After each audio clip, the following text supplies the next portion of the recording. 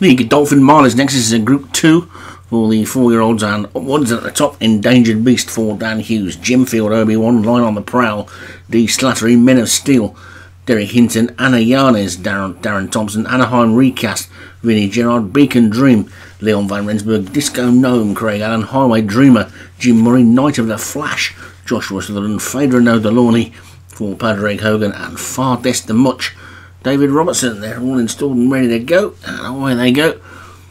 We've got the nose banded Joshua always closest to us, Knight of the Flash, but it's Phaedra No Delorney in the yellow who got out quickly, and now Jim Murray's Highway Dreamer in the black and red.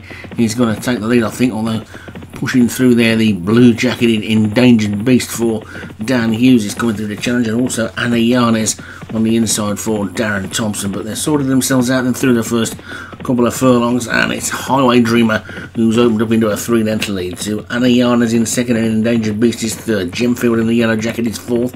The yellow and the black sleeves of Phaedra No Delorney on the outside. Beacon Dream tucked in on that one's inside. Inside of that one is Anaheim Recast in the green. Men of Steel has got the red and the pink and black.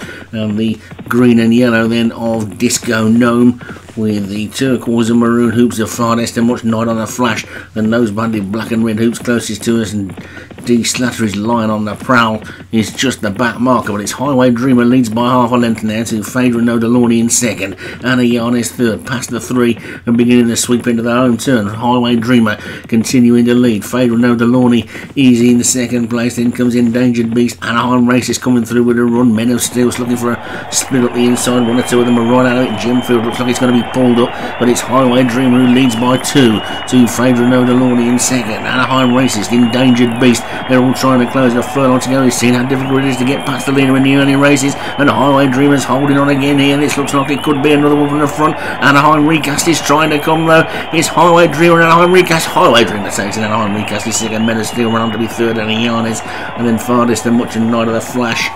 And the front runners have been doing well today, and Highway Dreamer. There's another one for Jim Murray. Anaheim Recast second for Vinnie Gerard. Men of Steel, Derek Hinton was third. Anna Yarnes, Darren Thompson fourth. And Farthest and Much for David Robertson was fifth.